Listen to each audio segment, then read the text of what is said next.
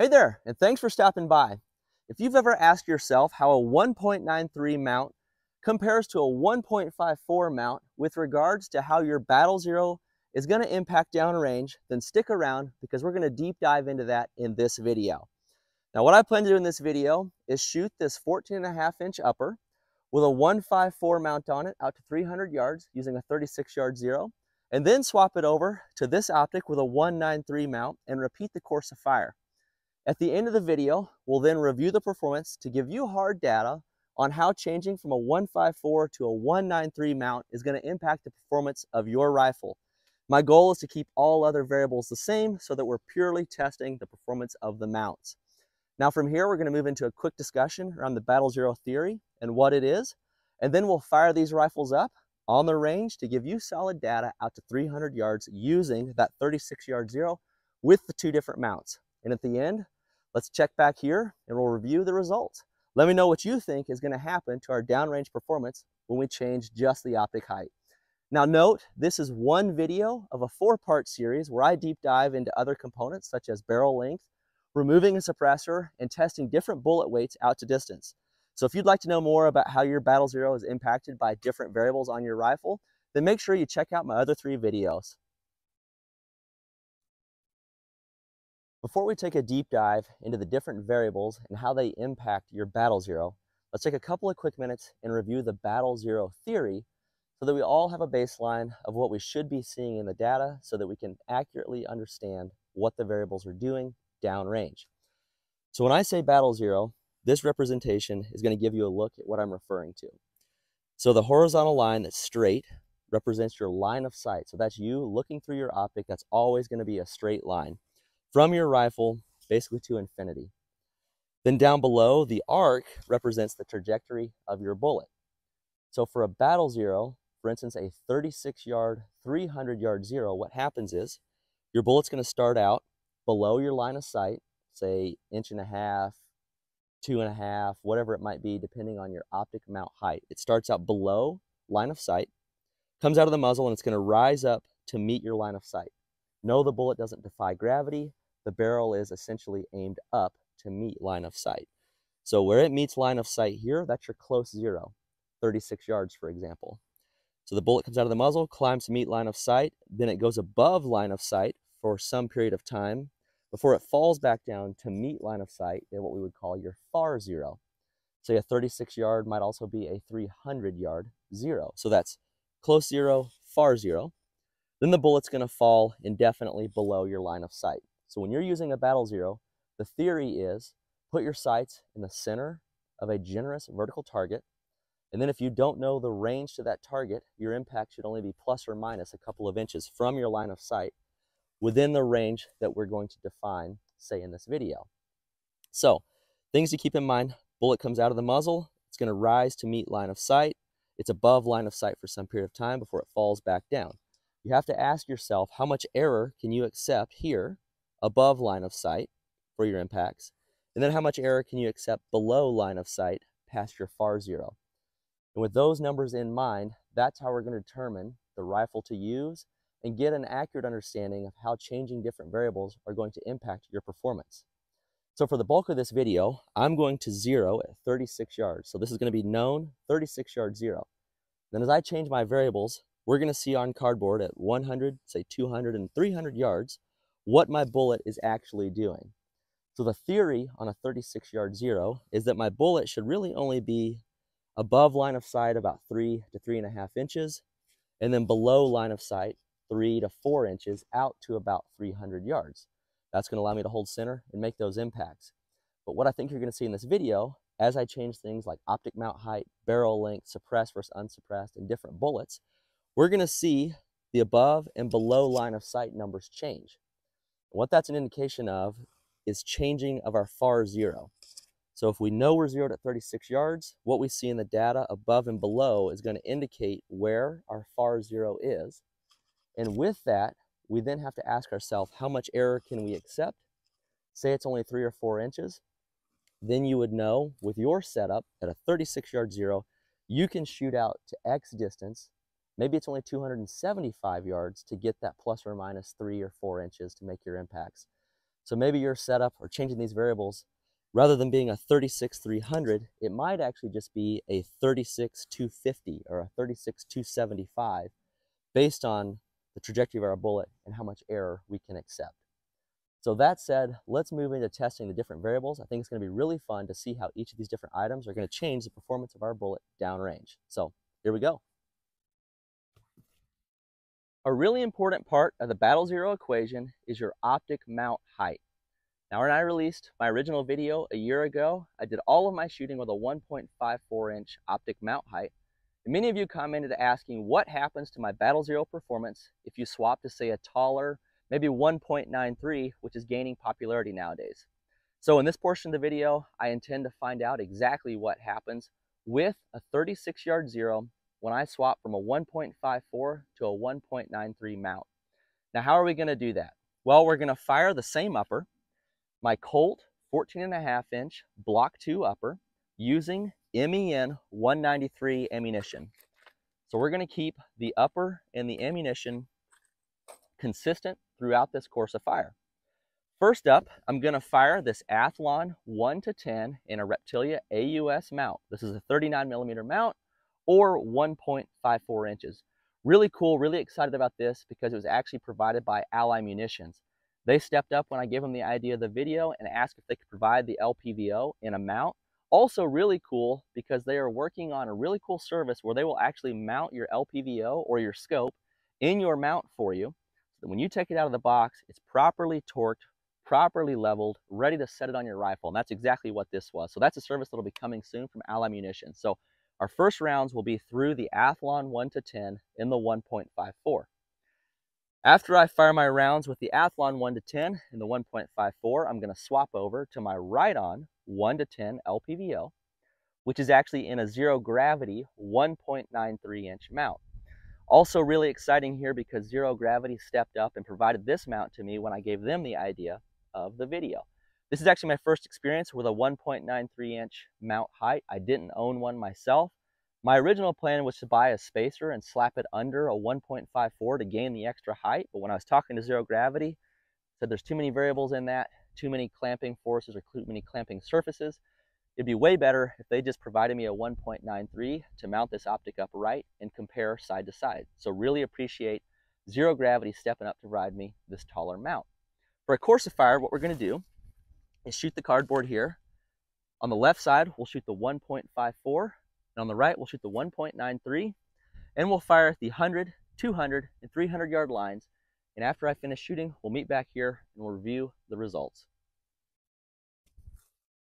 1.54 inch mount is 0 to 36 yards. We'll put our first rounds here at the 100 yard line, bottom left dot.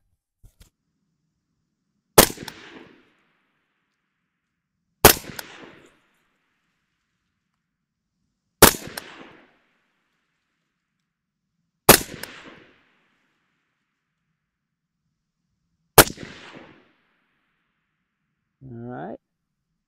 See those just a bit high there. Let's push on back to 200. 200 yards with a 1.54 mount. Left column, middle dot.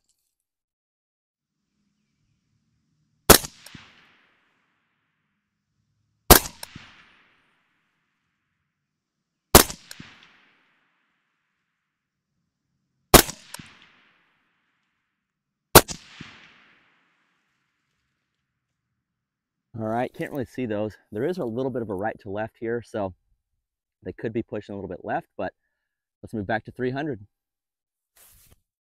1.54 inch mount, 36 yard zero, 300 yard line.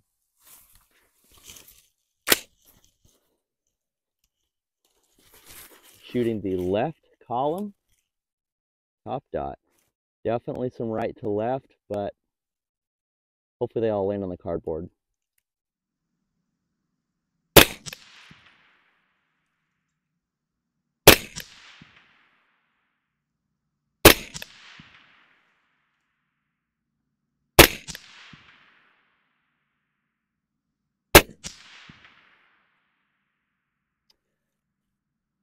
No chance of seeing those. From here, we'll swap over to the Riton in the zero gravity 1.93 mount and we'll reshoot it. I swapped over to the Riton 1 to 10 in the zero gravity 1.93 mount and zeroed at 36 yards. Now we're at the 100 yard line and we'll resume our course of fire starting at 100, then 200, then 300. We'll review the results at the end.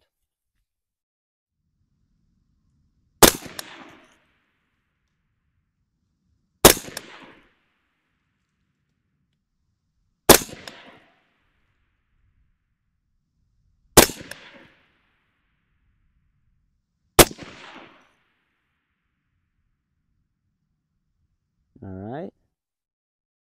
A little bit of glare from the sun on my scope. I can't really see those impacts. But uh, next up, 200 yards. 1.93 mount, 200 yards with a 36 yard zero. Right hand column, middle dot.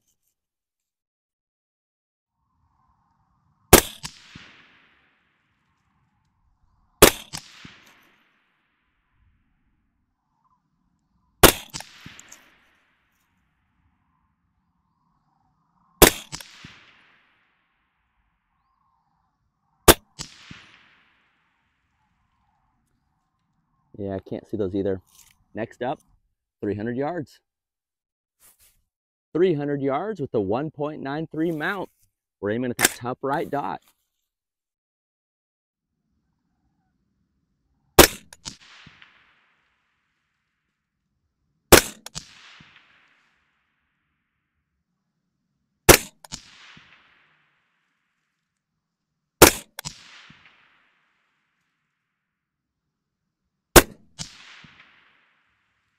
All right, let's take a close-up look at the results.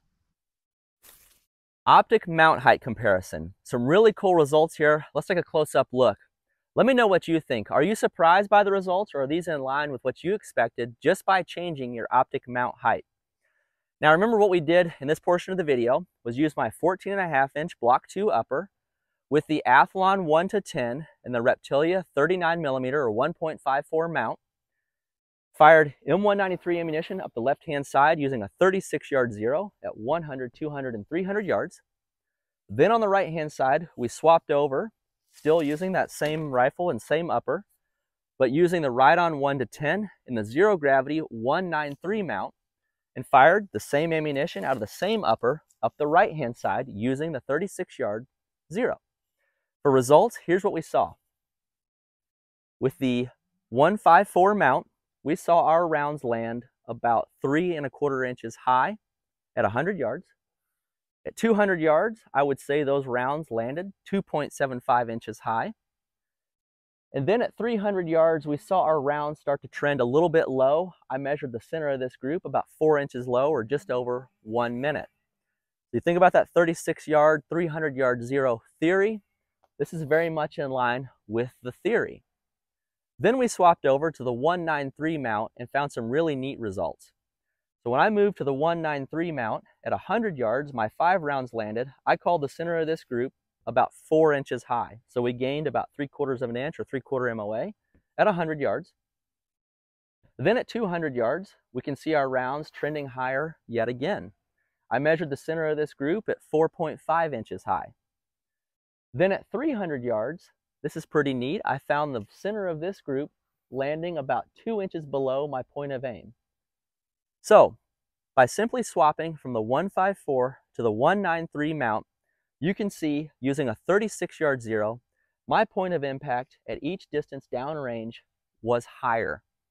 So you think about that zero theory, there's a couple of things here to keep in mind. When you zero, if you use a true 36 yard zero, you're gonna have more difference between your point of impact and your point of aim at your intermediate distances, but it's actually going to push your far zero further out. So what you're seeing here, my far zero with a 154 mount is actually a little bit closer than it would be with a 193. So depending on your intended use or intended goal of your rifle, you definitely want to keep in mind the mount you're using, how far you want to shoot, and how much error you can accept between your point of impact and point of aim. Now, say you want the same performance as a 154 out of your 193 mount. What are you going to do? You're actually going to zero at a further distance or you're going to zero a little bit low at 36 yards. So if you zero a little bit low at 36 yards, we would simply convert these differences over to mils, and you could bump your zero down that number of mils. That would be the easiest. You could convert that to inches to figure that out. Or you could use your ballistic calculator and find a slightly further distance to zero versus 36 yards. Now, why would you go further than 36 yards to achieve the same performance as a 154? It has to do with how fast that bullet is coming up to meet the line of sight. So at 36 yards, with a 193, you have to cover almost two inches of ground within 36 yards. So there's a lot more angle. Say you push out maybe to 40 yards. I don't know this for sure, but 40 yards, your bullet is coming up to meet line of sight a little bit slower, so not as aggressive. And that's going to achieve lower performance at 100, 200, and it will also lower your performance out here at 300 yards. It's going to shorten your far zero. So pretty cool to have hard data of how a 154 stacks up with a 193 using a true 36 yard zero. Let me know what you thought about this portion of the video. All right, if you've made it this far, I really appreciate you sticking around to check out this video. I hope you found some value in watching. You got to let me know in the comments down below. Was there anything you saw in this video that surprised you? Or did the data you see match what you're already getting out of your rifle? Was there any takeaway that you saw here you want to go out and try on your setup? Let me know. Let's interact in the comments down below. Now that said, my channel's seen a ton of growth recently, and I appreciate each and every one of you that are engaging with my videos, subscribing, and taking the time to watch. If you've made it this far, I want to ask for your help to continue growing. Leave me that comment down below, like the video, share with your friends, but most impactful would be to subscribe. If you subscribe to my channel, you'll be in line for the next video drop that I've got just like this. Also, don't forget to check me out on Instagram at Mountains Mullets America. It's another great place for us to interact. I can give you a sneak peek of what I'm working on. We can chat in the DMs. And that's where I come up with a lot of video ideas. So help me grow this channel. Hope you're there for the next video. Thanks for watching, and we'll see you next time.